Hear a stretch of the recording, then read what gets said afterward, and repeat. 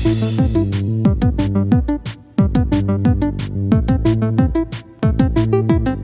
Hey everyone, time for another thoughts video, and after getting some time to play some of my backlog, I decided to play Luigi's Mansion 3. And as always, be sure to leave a like on the video as that really helps out the channel. And let's get down to the skinny of this fun game that you could play for Halloween, but unfortunately it seems ditching the haunted house locations for a haunted hotel with gimmicks does make the game lose some of its spook factor like the predecessors had. Though the plot is somewhat similar to the first two Luigi's Mansion games, Luigi, his pet ghost dog Polterpup, his brother Mario, Peach, and some toads receive an invitation to a luxurious hotel of the last resort. They decide to stay for a vacation. Peach and Mario are talking, the toads are playing catch, and Luigi is sleeping with Polterpup. Luigi awakens and finds out that this was all a trap set up by the thirsty as hell simp of an owner, Hellen Gravely. She lured the group to the hotel as part of a trap to get in good with King Boo. King Boo wants to end his losing streak with Luigi now by trapping him alongside with everyone else in a painting this time. Luigi is forced to flee to avoid the same fate and narrowly escapes to the basement by using a laundry chute. With the help of his flashlight and Polterpup, he makes it to the basement and finds a new model of the Poltergust, and after finding out in the lobby about Egad being captured as well, he goes on an adventure to free Mario and the others and stop King Boo once and for all. This time Luigi will battle ghosts in different themed areas in the hotel. I like some, for example the magic stage, dance club, and apparent museum area of the hotel with giant dinosaur included. I hated the basement levels, especially the duck boat sections. I don't know what it was, but I could not control that damn thing. Even the boss fight with the ghost plumber got on my nerves because I kept dying. Also, Luigi's tricks from his previous adventures return to form, like the flashlight with its ability to stun ghosts for sucking, and a dark bulb which allows him to see hidden items like chests and doors. He also has a partner, Gooigi, which Luigi can take control of and use him in various ways like solving puzzles or using him as a distraction for enemies and bosses. I used him like that a lot when I found out that they would attack Gooigi first. Now, should you give it a try?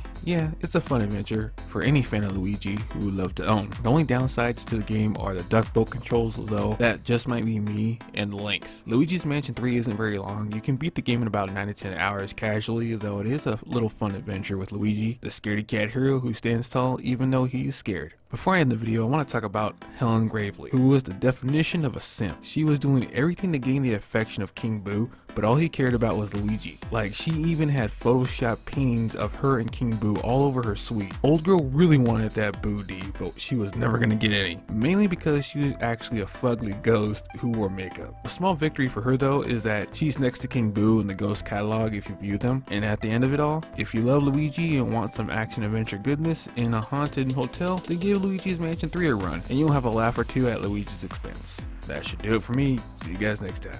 If you like what you see or hear, why not subscribe?